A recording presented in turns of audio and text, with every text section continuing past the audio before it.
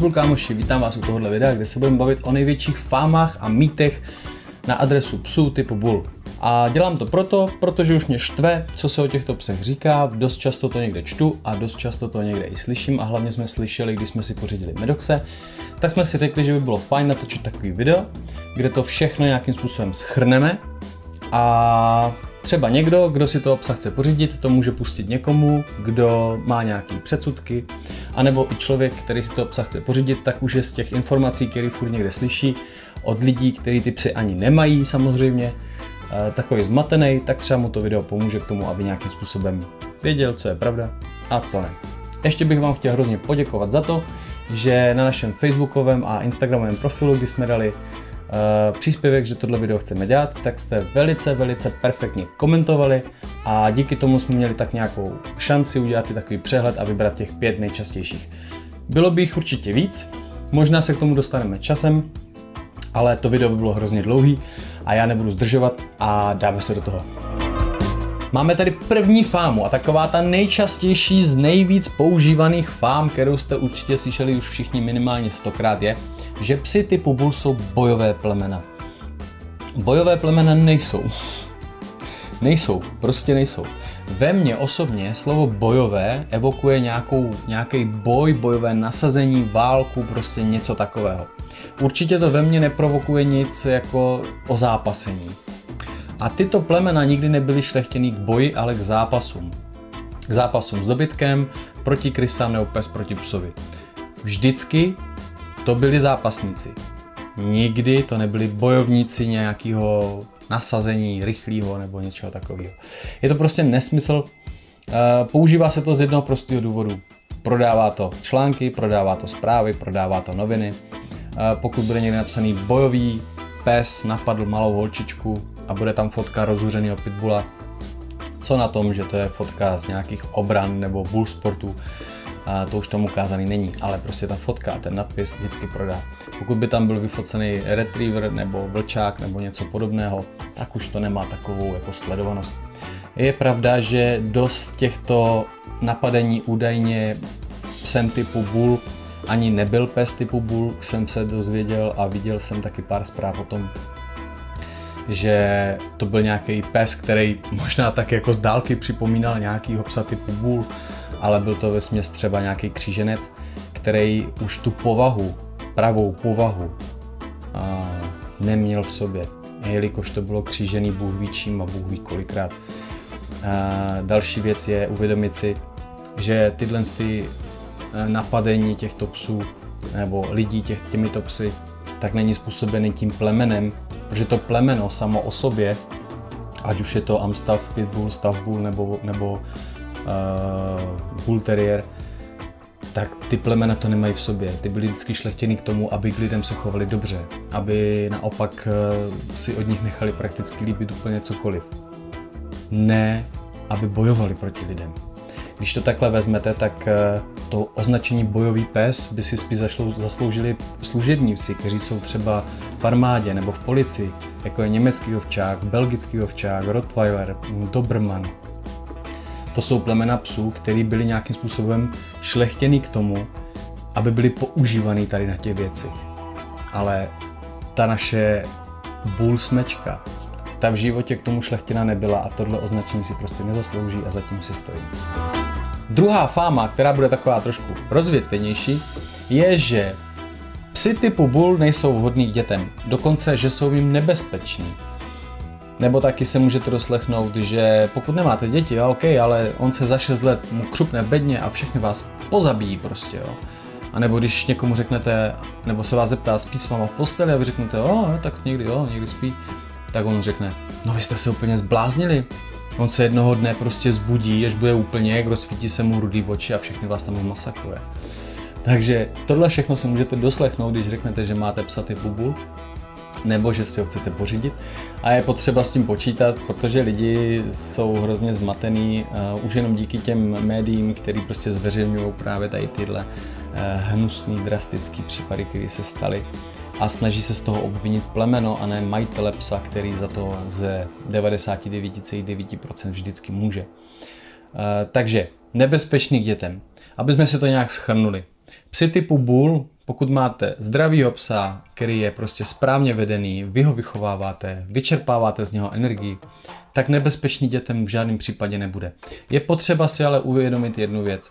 Musíte vychovávat nejen toho psa, aby věděl, jak se má chovat k vašemu dítěti, ale musíte také vychovávat vaše dítě, aby vědělo, jak se chovat k tomu psovi. To znamená, pokud pes leží někde v klubíčku nebo na svém místě a to dítě za ním leze nebo do něho něco píchá, tahá ho za uši, tak to je z vaší strany už chyba, že ho to necháte dělat. Protože ten pes chce mít klid a chce odpočívat. Vy ho máte nechat odpočinout. Až si pes bude chtít hrát, přijde, vyvalí se na záda, ukáže břicho, nechá se drbat. V pohodě, pak si můžete být jistý tím, že se nic nestane. Každopádně nikdy nesmíte nechat psa a dítě bez dozoru, abyste měli přehled o tom, co se děje.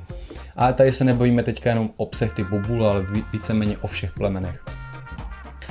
Uh, jediný nebezpečí, který vám hrozí, pokud máte třeba malé dítě, které je ještě uh, takové neohrabané, že sotva chodí a má malou váhu hlavně, je, že tohle jsou, ty psy typu bul jsou velký výtači.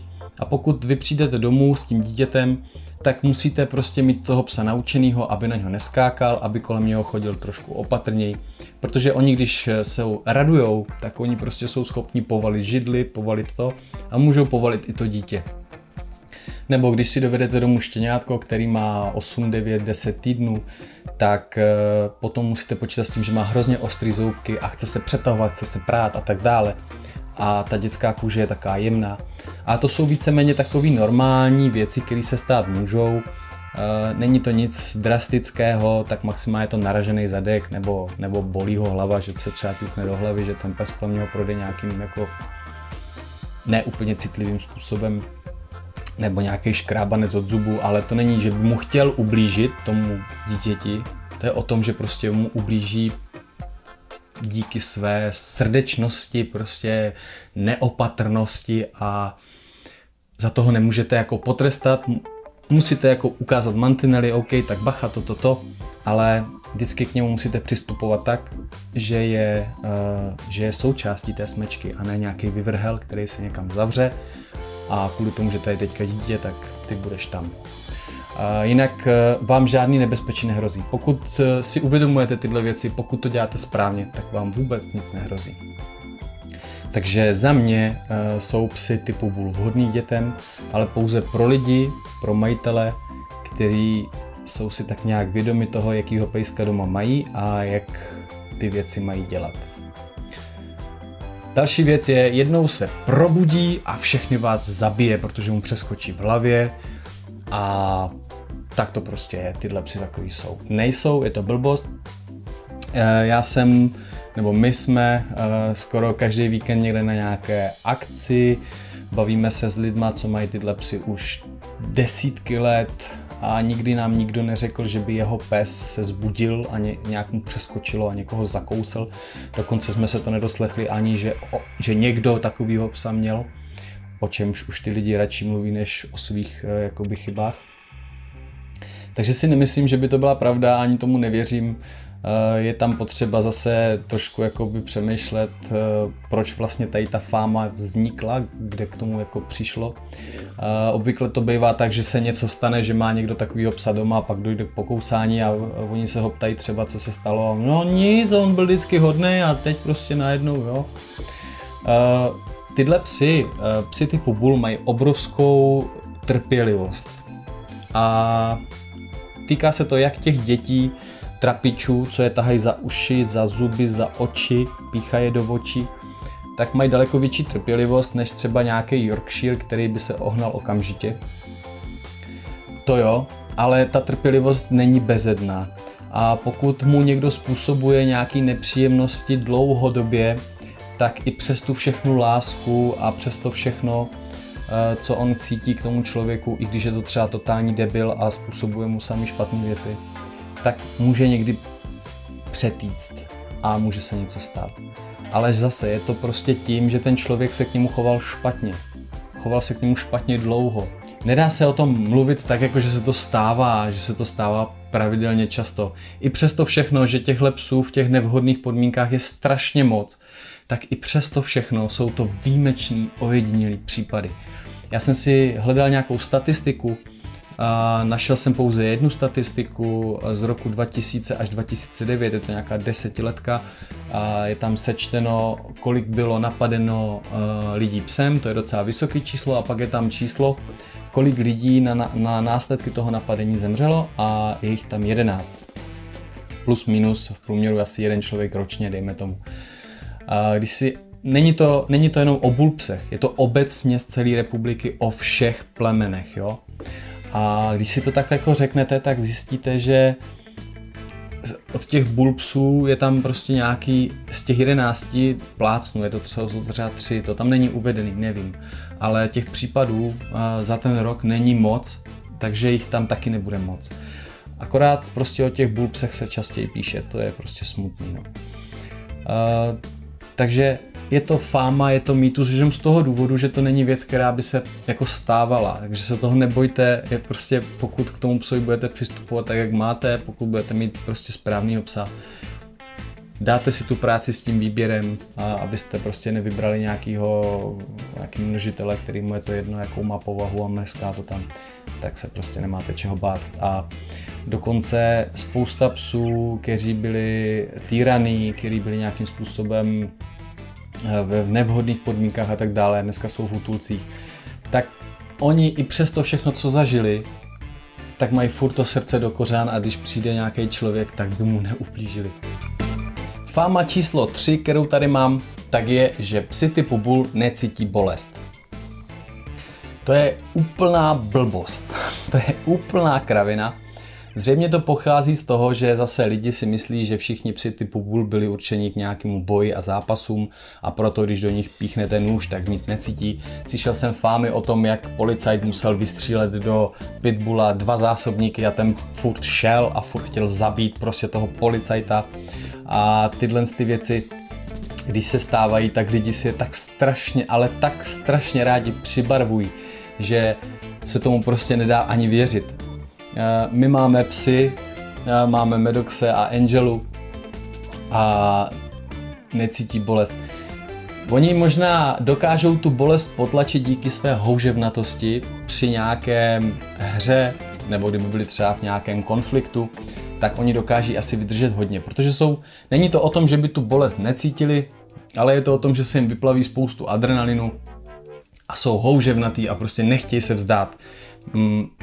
U Pitbullu je vlastně takzvaný game, je to uh, vlastnost toho psa, která je vysoce ceněná a tam jde o to, že pokud ten pes uh, má chuť bojovat, i když je prostě zraněný natolik, že ho to může i zabít, ale stále chce bojovat, tak tam se říká, že má game.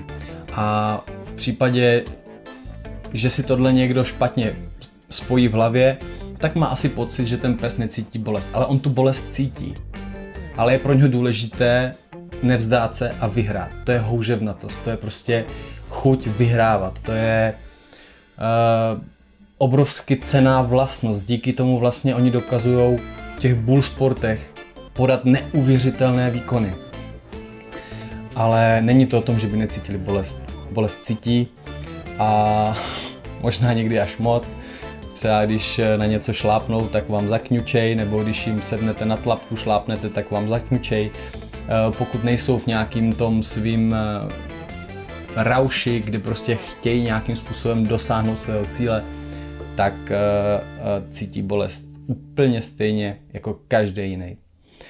Je to to samé s lidma. Pokud jste někdo dělal nějaký bojový sporty, byl jste se v ringu a dostal jste prostě ránu, tak v tom ringu tu ránu skoro necítíte, pokud není opravdu taková, že vás tam vypne. Ale kdybyste takovou ránu dostal, když sedíte a koukáte na televizi, tak máte pocit, že, že vás porazil vlak. Je to prostě o tom, že oni jsou houževnatý psy a mají obrovskou chuť nějakým způsobem dosáhnout svého cíle. Není to o tom, že by necítili bolest. To je fáma. Fáma číslo 4 je barv. Uh, barv, pokud nevíte, co je barv, tak je to krmení syrovou stravou. Uh, nám se to stává velice často, protože barfujeme a už jsme to slyšeli asi tak, já nevím, stokrát, že když jsme někde řekli, že barfujeme, tak reakce normálních lidí, nebo lidí, kteří prostě tom nemají nějaký přehled, tak je z 99% Ježíš Maria, vy ho krmíte masem, jak jednou ochutná maso nebo krev, tak vás prostě potom sežere, začne být zlej a agresivní. Není to vůbec pravda, je to prostě zase opět jenom fáma. Ten pes nerozlišuje, uh, jestli žere syrový maso anebo žere granule. Tom, že by jakoby pak se měnila nějakého povaha. Je to stejný, jako když vy jíte maso, tak taky nejdete potom a nezabijíte lidi. Nebo když si dáte tatarský biftek, tak pak taky nemáte chuť zabíjet, protože jste ochutnali syrový maso. Uh, jsou to prostě nesmysly, které se zase říkají, protože to někdy někde někdo řekl a teď to všichni opakujou, opakujou. A tak nebuďte ovce a neopakujte takovýhle prostě bullshit, protože my je krmíme tím masem od malička, co k nám přišli jako štěňátko v 8 týdnech, už dostal do misky syrový maso. Krmíme je tím každý den a máme doma malý dítě a nepocítili jsme žádnou agresivitu nebo nějakou jako změnu v jeho chování, v povaze. Vůbec ne. Je to nesmysl. A poslední takovou velice častou fámu na adresu psů typu bull je, že dostávají křeč do tlamy. Dokonce, když jsem dával ten příspěvek na Facebook, tak velice z, eh, spousta z vás to sdílelo, za což moc děkuju. A někdo to sdílel i do skupiny Americký Staffordshireský Terrier. A četl jsem si tam komentáře, moc zajímavé a výživné. Eh, spousta lidí, co tyhle psy má, tak mají pocit, že chytají křeč do tlamy. Dokonce tam někdo psal, že když eh, se zakousne, tak dostane křeč do tlamy a že poprvé mu musel ťuknout nějakým kovovým, něčím kovovým do zubu, pak že jako pustil. Pak už to nefungovalo při dalším zakousnutí, takže ho museli polít studenou vodu, pak že jako pustil. Je potřeba si uvědomit, co je křeč a co je houževnatost a to, že vám to prostě dát nechce. Uh, křeč je stažení svalů, který není závislý na vaší mysli nebo na mysli toho psa. Jestli jste někdo z vás dostali křeč do nohy, do lítka, do stehna, tak moc dobře víte, že se s tím jako moc dělat nedá. Maximálně to můžete dát do nějaké polohy a čekat, až to prostě povolí. Ale že by, že by vás někdo jako polil vodou a hned vám povolil sval, to je asi blbost, že jo? Nebo kdyby vás ťuknul někdo do zubu. Uh, ten pes nepustil proto, že by ho někdo ťuknul do zubu a tím se vyslal nějaký signál do toho svalu a tam se to uvolnilo. Ten pes pustil, protože nechtěl pustit, ale to ťuknutí do zubu bylo tak nepříjemný, že to pustil, aby prostě se dostal z té nepříjemné situace. A dost mě mrzí, že i lidi, kteří vlastně tyto psy mají a jsou schopní tohle napsat, takže mají takovýhle jakoby nesmyslný předsudky o svých vlastních psech, já teda nevím, jestli ten člověk, co to tam psal, toho psa má, ale bylo to ve skupině americký Staffordshire Terrier, tak předpokládám, že ho buď má, měl, anebo chce mít, to je jedno. Uh, je to, je to dost zarážející a není to poprvé, co jsem zjistil, že lidi, kteří ty psy mají, tak o nich vlastně nic neví. Uh, takže bacha na to. Křeč je, když ten pes nemůže pustit, i když chce, protože ty svaly v té tlamě se stáhnou bez toho, ani by on to mohl ovládat. Naopak, to, že vám to dát nechce, to, že má prostě v hlavě to, ne, já ti to prostě nedám, já to tady budu držet a budu to tady cupovat a ty si dělej, co chceš. To je věc druhá a je na vás, jestli toho psa naučíte nějakou pouštěčku, no třeba na slovo pust, nebo fuj, nebo to je jedno, co si zvolíte za slovo, a nebo máte na něho nějaký fígl trik, jak udělat, co udělat, aby pustil. Ale není to křeč.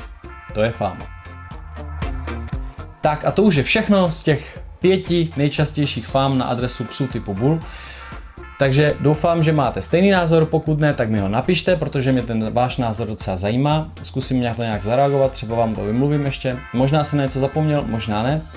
Každopádně uh, děkuji vám za všechny reakce ještě jednou. A já se s váma loučím a budu se na vás těšit u dalšího videa. Čus.